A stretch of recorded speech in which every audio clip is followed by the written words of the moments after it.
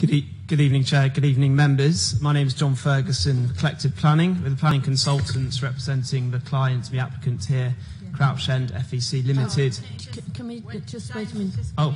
It's all right. James is just Uh, gonna The officer's introduce going to start with an introduction and you're going to speak after that. Okay, James.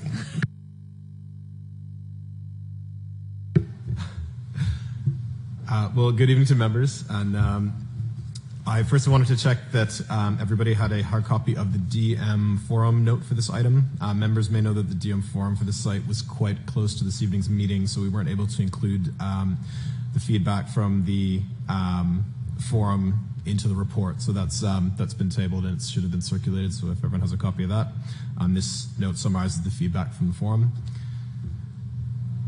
Uh, the pre-application site is the Hornsey Town Hall complex, uh, which is partly located within the Crouch End District Center on the east side of the Crouch End Broadway.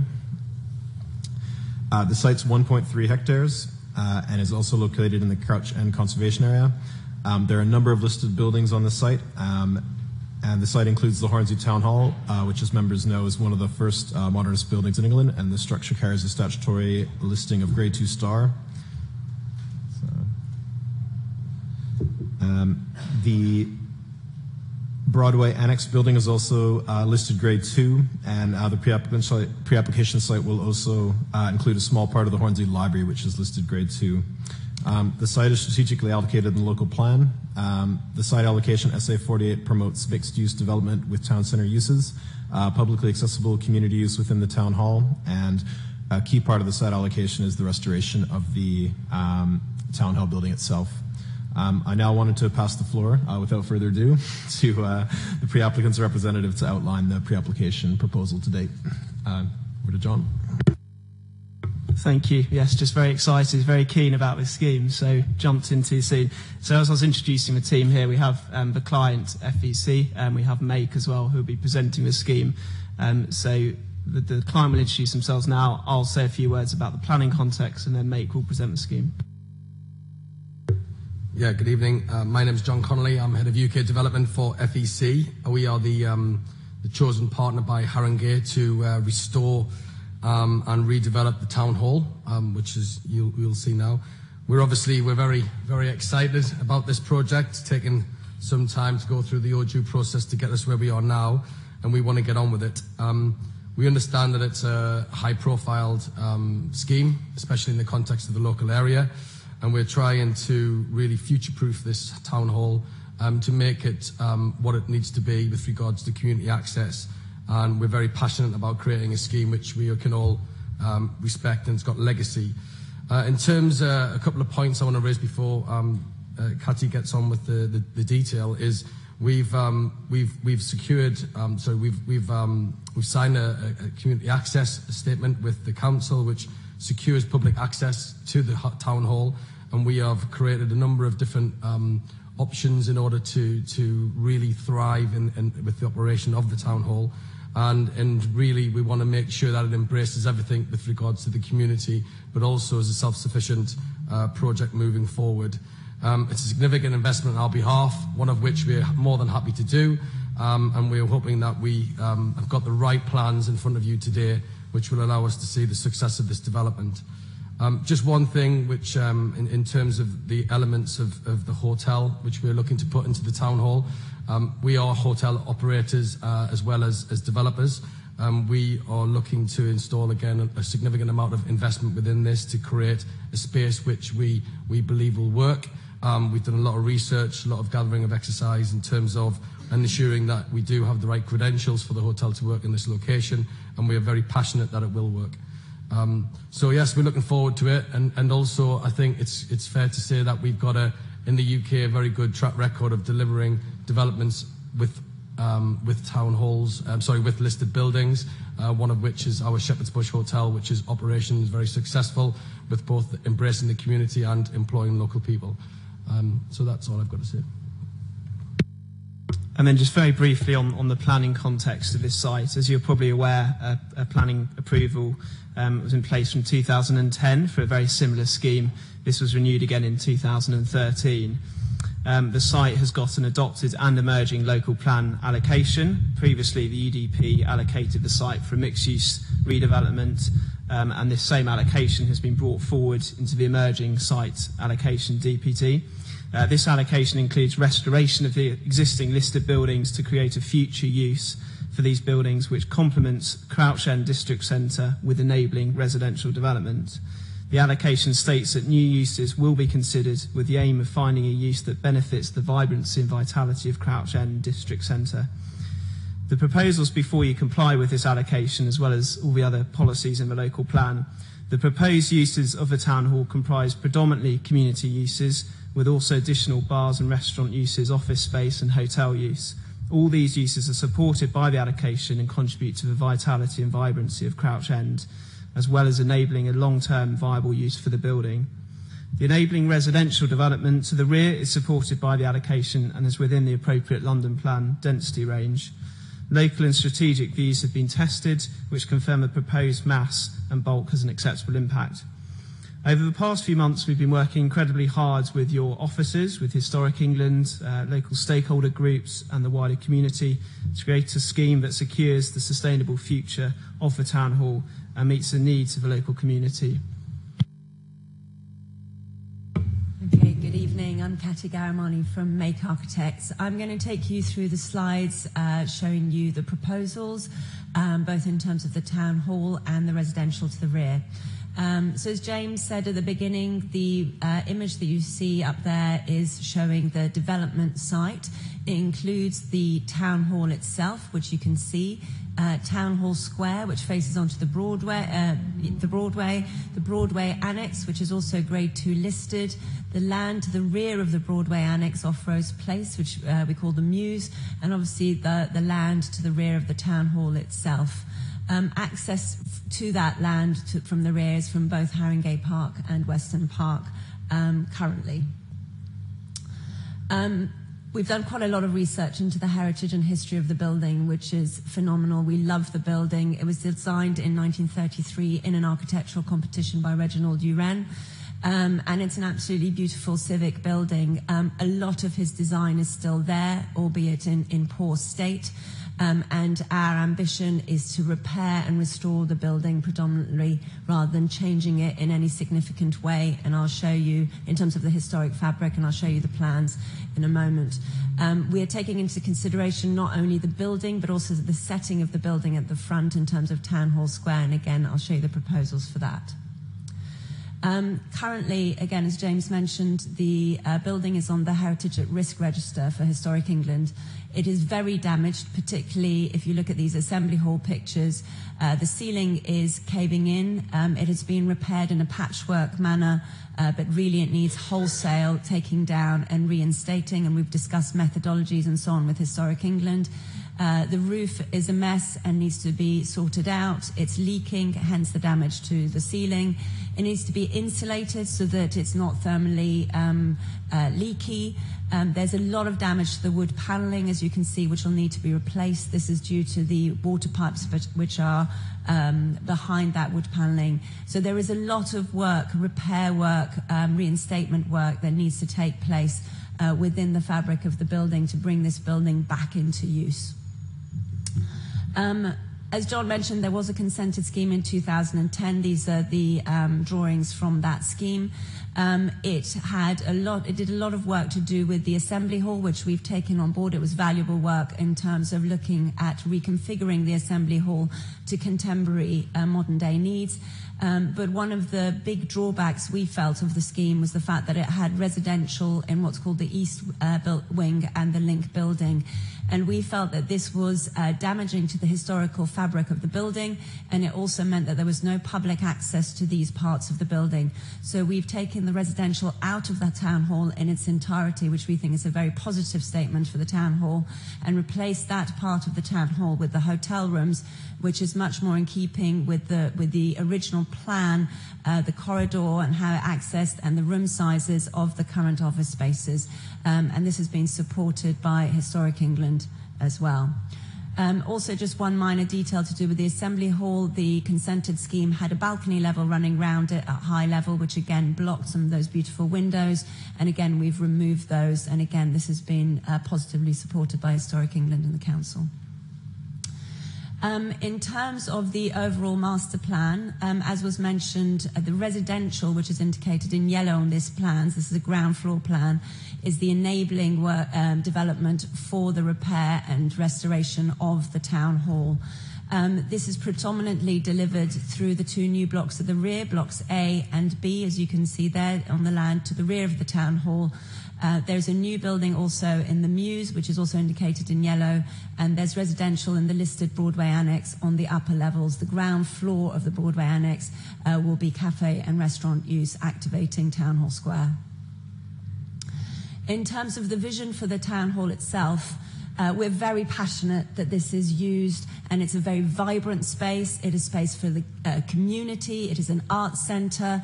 Uh, it is space for performances, concerts, talks, um, different variety of workspaces, co-working, workshops, artist studios, uh, space for community classes, whether that's for adults or children, rehearsal space, um, music space for music, and also think taking into consideration consideration the external spaces, so Town Hall Square and what I'll show you is Town Hall Gardens as part of the arts offer uh, that is delivered from the building.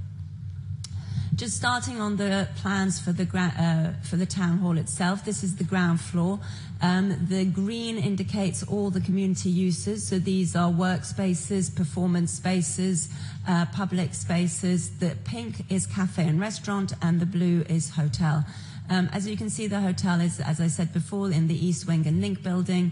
On the ground floor um, of the um, town hall, we also have a cafe and res- restaurant facing onto Town Hall Square. And one of the other big changes that we've been trying to do as part of the scheme is to make the building as inclusive as possible for all. So for people in wheelchairs, for young children, for elderly people.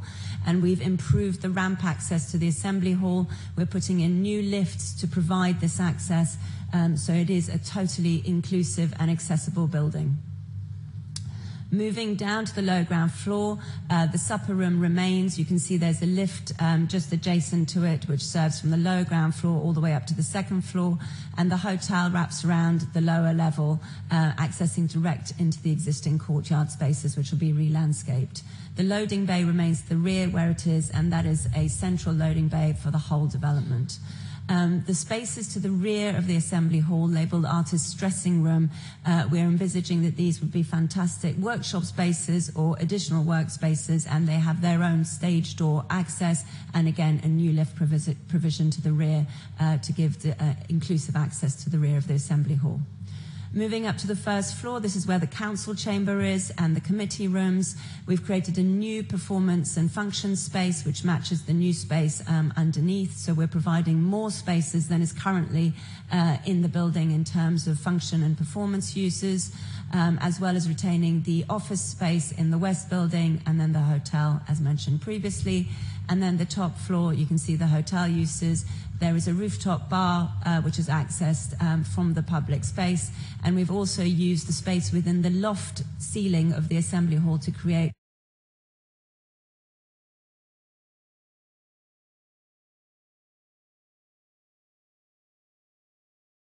additional workspace.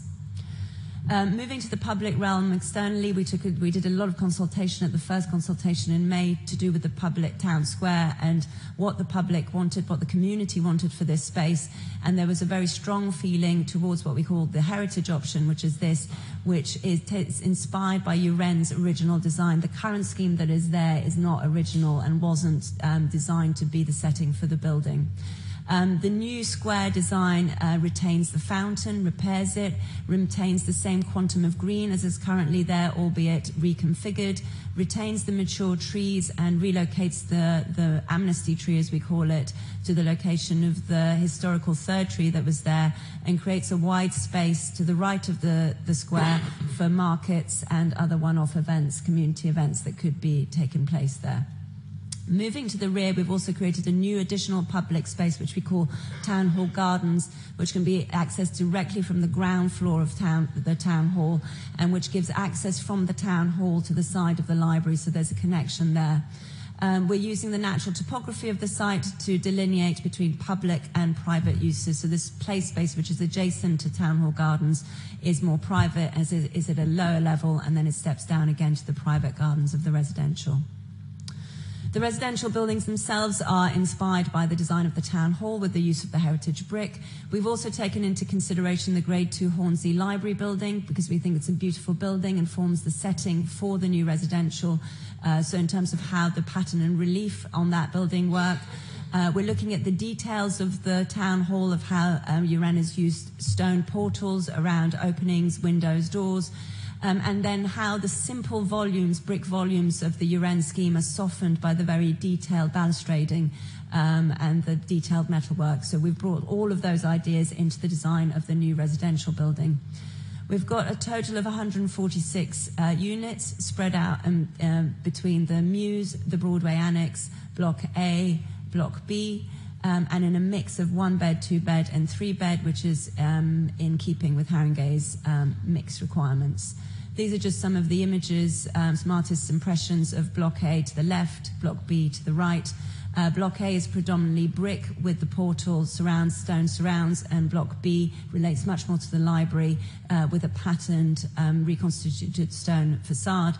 And you can see the detailed balustrading there that we've um, taken from the town hall design. Uh, and there's another view here.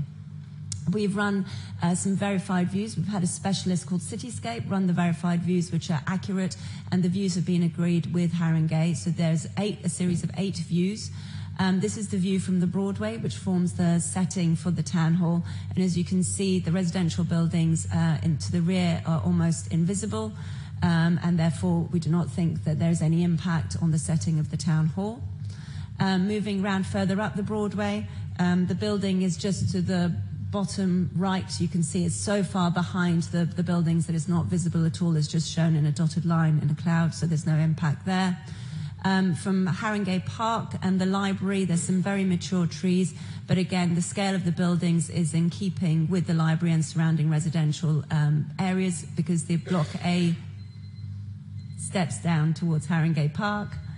Uh, looking back the other way, again, you can see the dotted red line behind the trees from Weston Park. Um, um, I've finished. Um, carry on and, and finish. Last slide. Okay. Um, and this just shows the access to the site, vehicular access. So we've got car parking under Block A and also some car parking at grade between Blocks A and Block B. Uh, this is access from Haringey Park. Um, we've got access to the rear of the library for the housebound um, van. Um, we've got the consolidated loading bay to the rear of the town hall. This is for residential, community uses, and hotel. Um, and then we have a managed drop off at the front of the town hall for pre booked disabled um, or other users that w- might need some additional support getting into the town hall. And this is a, just a view of the square um, as might be in a couple of years' time. Thank you. Thank you very much. Um, can we have the ward councillors now? I think it's just one. Councillor Doron. You've got three minutes. Oh, two. Come. Do you, do you want to both come up? And... I think you've got three minutes each.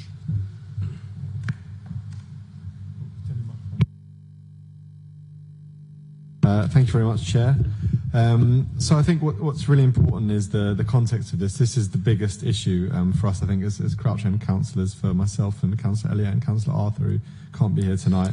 And when we stood for election initially in 2014, the biggest issue that people complained about was nothing going on in Town Hall, no real plan for the future. It was, as we've heard, the buildings in decline on the at-risk register. People were very angry about it. People were also aware there have been many attempts to solve this issue and get um, a solution for what is essentially a town hall for a borough that doesn't exist anymore. So I think people are, are realistic that something needs to be done and it's not easy. Our priorities are essentially the community priorities. We've done a lot of consultation as this. I think Sarah and I, as members of the Creative Trust, but also as board councillors, speaking to people uh, almost week in, week out through certain periods to, to, to understand their concerns. And I think what, what our priorities are absolutely is restoring the building and bringing it back into, into use. I think having a meaningful arts centre operation going on, it's worth saying that A&A, who are in there at the moment, um, who came in after we were elected, uh, done a great job. I think we need to see a real step change in terms of how the building is used. I think we want to see com- meaningful community use uh, and access to the building, meaningful community governance, and that's something we fought hard as uh, ward councillors to get a community use agreement, which was referenced and is available online. I think we want we want to see investment in, in the public spaces, um, and, and that's a really important priority, especially the public square. We fought hard for that to be guaranteed that it will remain a public square, and that's something we feel very passionately about. Um, and also something that's very important for us as as ward councillors and, and for the local authorities to see the maximum amount of affordable housing uh, on this site. We understand that it's a very difficult site. There's a lot of things that I've just laid out that are priorities for the community. We understand there's got to be trade-offs, but we're fully committed to pushing for all of those things. And I think you'll see us back here at the committee um, still banging the table and banging the drum for these things, as well as securing as much as we can of all those trade-offs. I think we, need to see sensitive development. We need to minimise any detriment there is in the local area. Um, this again, this is difficult for the scheme to work. We accept Hornsey Town Hall has to be bustling, has to be thriving. That means by definition there's going to be people coming in and out, but we need to do that in a way that minimises harm for people on Haringey Park, on Weston Park, Bourne Road, and the roads uh, around that. So that's another really important um, priority for us. I guess the, the, the conclusion is. Uh, this is really important for us. We want to see a, a, competing range of things perhaps go on, but I think we can we can push for those. We can do a lot on this, and um, we appreciate this ambitious, but we're going to push uh, for the council, for the developers to do the most that we can. It's a delicate balance, um, but we're going to continue working hard to get the best for the people of Crouch End. Hi, everybody. So, yeah, as Natan says, we've been working in really hard. It's, it's, it's, right in our hearts, I'd say. The three, you know, three Crouch End, Crouch End counts is right in our hearts to get this absolutely right. It seems to me that what we're doing now is going to have more impact on Crouch End than anything we could possibly do in the next 10, 20, 50 years, to be honest. This is going to set Crouch End up for a long time. So we, you know, we want absolutely the best outcome for the town hall and the surrounding land. We're going to continue to working hard, working hard to get the absolute best deal for Crouch End as we can. We want to see the, the full restoration of and, and the correct investment in the building. We want a world class arts centre in operation, meaningful community use, access and governance, and improved public spaces. And we also want to see as much affordable housing as possible. It's, that's also right, at, right in everyone's hearts. We all feel that that's essential. And I'm speaking as I'm also a member of the Hornsey Town Hall Creative Trust, as, as Natan is. I should mention that also as well. The two of us are.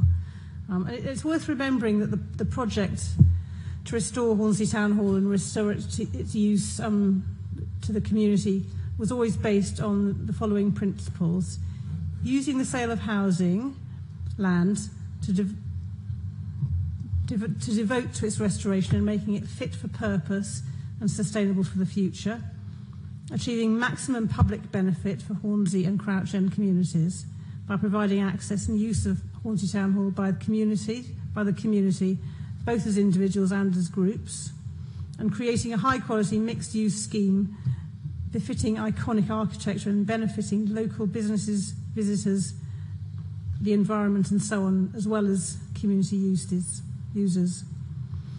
So and I, and I feel as though this, this scheme is, is largely fulfilling those elements, which is great.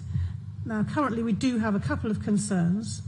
These were around the phasing of the re- refurbishment of the town hall in relation to the sales of the res- residential properties, i.e., we don't want to see properties sold before the town hall is finished. It's absolutely key. Um, and the other thing is ring fencing the necessary funds that are needed not only for the repair of the building, but to create that fit for purpose refurbishment of the town hall and its environs. Okay, thank you. Um, I think um, members, you can ask questions now, bearing in mind this is a pre application and you need to not um, pre predetermine. I keep getting this wrong. Um, yourselves, right? So, anybody want to question um, Councillor Patterson? Thank you, Chair. Um, I understand that discussions with the applicant about the provision of affordable housing are ongoing. I'm just wondering if officers could provide some updates on how these discussions are going. Uh, well, thank you for your question. Um, the issue of affordable housing is highly dependent on viability. So um, the applicants confirm for us that the um, viability assessment is going to be deposited right when the application comes in formally with the council. And so it's up to them when they apply, but they've committed to bringing forward that assessment at the outset of the application. The council then undertakes a third-party consultant to do an assessment of that viability as to if it's a robust assessment, and that will set out what the affordable housing offer is and the, the sort of assumptions that underpin that. So um, we're anticipating that that process is going to get underway as soon as the applicant uh, lodges the application with the council. Councillor Mann? I had three questions, but one's already been asked. So, um, Historic England on page 175 said that the increase in the height of the buildings at the back in one of the residential blocks appeared to be just above the roofline. Um, their preference, Historic England's preference, would be that this element would be reduced in height still further and recommend this option should be explored. Has it been explored and will you change the height at all? And my other question is the quality review panel, page 159, says that the public spaces between the blocks need to be improved. There's actually quite a long piece, but it said need to be improved. So, what steps have you taken to improve them? Thank you, Councillor Mann. Um, so, the first time we saw Historic England uh, Block B, which is um, that block there, as you can see, it's just labelled Block B, uh, was uh, seven stories above ground. Um, as a result of discussions with Historic England and Haringey and undertaking not only the verified views which we have today, but also daylight and sunlight assessments, we've pushed Block B down by one story. Um, so Block B is now six stories above ground with a lower ground floor. Um, so we've mitigated that issue. Um, in terms of the QRP and the spaces in between the building, we went to see the quality review panel very early on in the proposals, and we didn't actually have at that stage any um, firmed up proposals for the spaces for the residential uh, amenity spaces at all. Um, so those have been developed in a lot of detail with the provision of play space, uh, with a lot of um, an analysis to do with the trees and retaining the trees, with how we use landscaping in terms of um, preventing overlooking to neighbouring properties. Uh, so there's been a lot of work done since the QRP, um, and that will be part of the application. Um, Councillor Carter.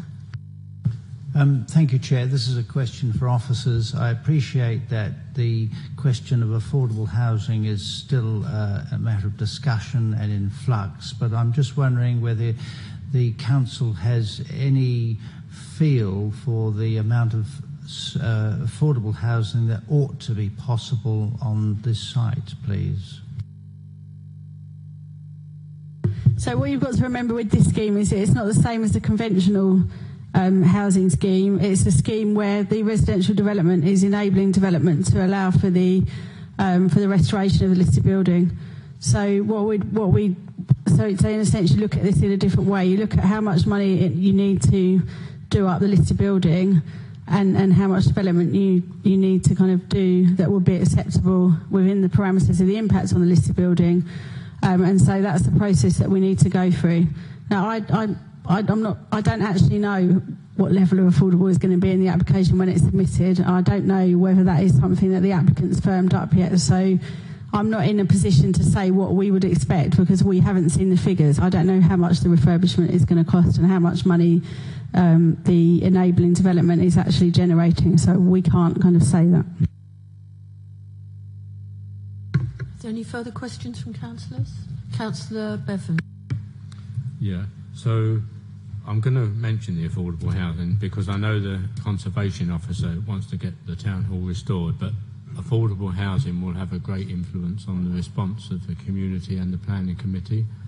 So you're producing 144 apartments here, which will sell for substantial sums of money in that area. So there should be the ability to afford some affordable housing even though the cost of uh, restoration is, is increasing. And in this part of Haringey, we would expect the majority of affordable housing to be social rent, because that is the policy of the council for this part of Haringey, not uh, shared ownership or outright sale. Uh, compliment you on the wheelchair accessible spaces. They match the wheelchair accessible unit, so that's that's really good. Uh, you've answered the question about the extra uh, roof and the reduction there, so that's good. There was a couple of points that come up at the uh, public meeting, the Development Management Forum. There was mention about the bar on the roof. I don't quite, if you want to talk, talk about that, explain that. And then there was concerns that it was going to be become a gated community. That was mentioned at the uh, management forum as well. And then the last point is parking.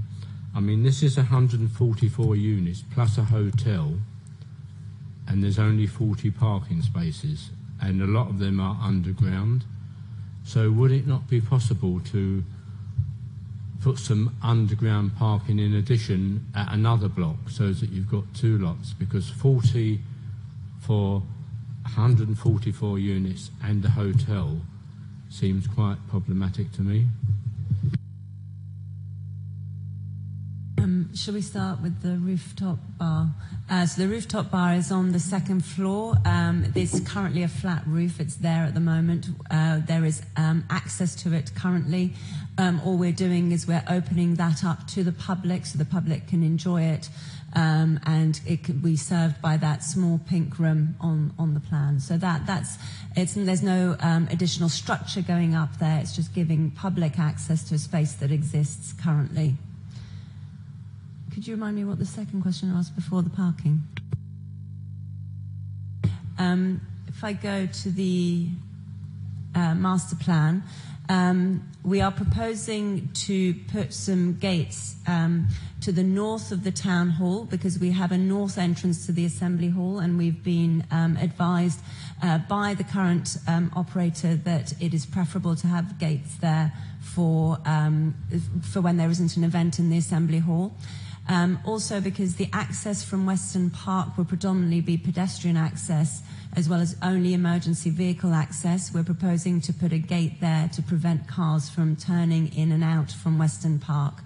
Um, and there will be a further gate for out of hours use to close off the town hall gardens at night time.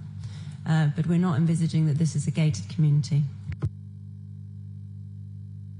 Um, lastly, parking. Uh, we actually have 45 spaces for dedicated for the residential use. These are some of these are in the undercroft of Block A. It's not actually underground, so there's no ramp uh, needing to um, access those. There's no lift or anything like that. Uh, we're using the, as I say, the topography of the site. There's a fall of three meters, um, so by the time you go from Haringey Park towards Weston Park, you are in the undercroft of Block A, and that's predominantly where the parking is. There is some at grade as well, particularly for disabled access and there's some shared carpool spaces. There's a full travel assessment being done as part of the application, and the development will also be a permit free development. Any further questions? Oh, Councillor Carter again.